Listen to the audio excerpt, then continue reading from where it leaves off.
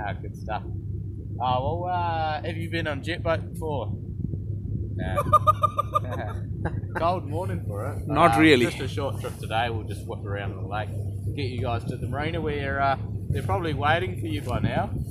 I know. You said 10 past 10. I think it's quarter past 10. we better get going. Yeah, bro. Righto. We'll, uh, we'll beeline it straight there. We'll get a few spins on the way. You'll see me go like this. Boat will spin around. Hold on nice and tight. Yeah, sure. Easy as that. We'll, uh, Yes, get bro. Just do your best.